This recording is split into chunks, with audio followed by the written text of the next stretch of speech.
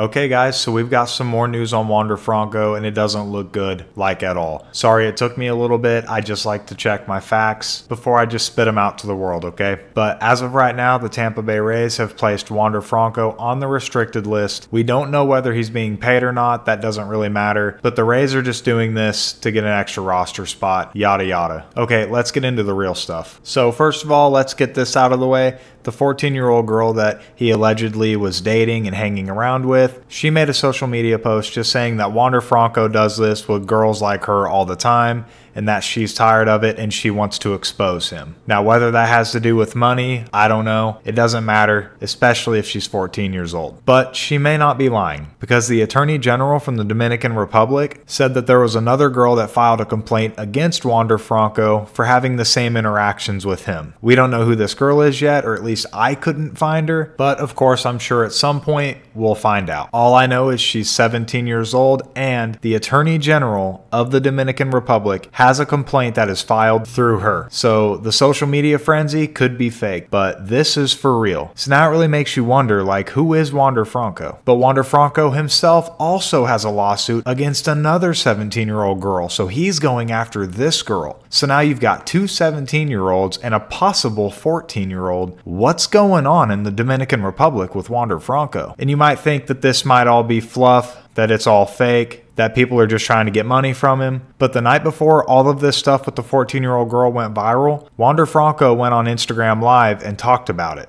and I'll show you a tweet above explaining exactly what Wander Franco said. So this is what he says. They say I'm running around in public with a little girl, that I'm running around with a minor. People don't know what to do with their time. They don't know what they're talking about. And that's why I prefer to be on my side and not deal with anybody. And I get it. Social media can blow things up, blow things out of proportion. But for you to come out and say that, and then a couple days later we find out that you were with a 17 year old for sure because the attorney general of your home country knows about it it, and you've also got a lawsuit filed against a 17 year old girl in your name, what are we supposed to think as fans? And not only that, but Jose Siri, the center fielder for the Tampa Bay Rays, was jumping up and down in the background while Wander Franco was speaking live on Instagram, saying, People chasing that money, people chasing that money, people chasing that money. Like acting like this isn't a serious situation. Like, bro, that is your teammate. If he's doing this stuff, why are you back there defending him? I know you guys make a lot of money. Like, we all get it. You make a lot of money. But it's not okay to just act like someone's chasing his money if he's down there hanging out with girls that are 14 and 17 years old. I'm sorry. And I mean, come on. Imagine how the Tampa Bay Rays feel right now. They've got to be shaking in their seats as an organization and as a team because we all know the Tampa Bay Rays do not spend money. They refuse to spend money.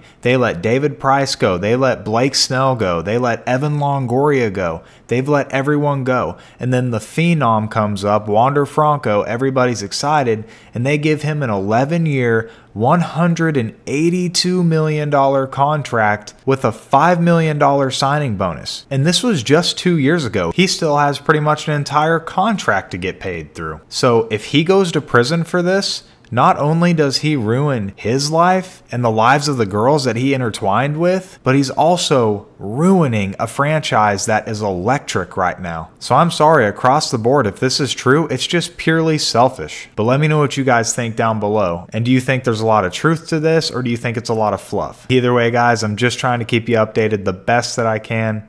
Peace. I love you. I'll see you in the next one.